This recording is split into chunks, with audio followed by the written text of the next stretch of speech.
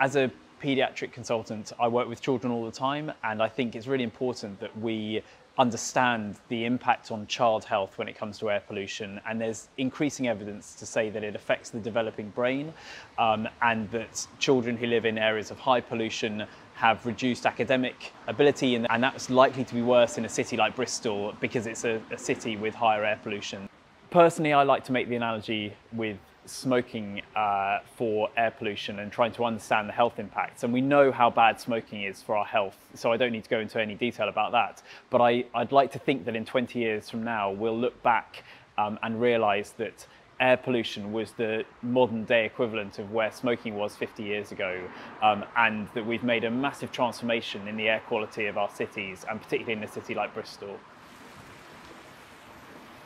There are loads of benefits that we get from active transport, um, and we know that doing things like walking and cycling regularly can improve your heart, lung health, reduce your risk of dementia, type 2 diabetes, obesity, um, and there's now even increasing evidence to say that in, it improves your mental health uh, and reduces your risk of anxiety and, um, and a lot of other um, uh, mental health issues that we're seeing in the, in the world. Um, so uh, personally, I um, cycle to work, and I think the great thing about doing something like uh, active transport is your commute means that you build that into your daily routine.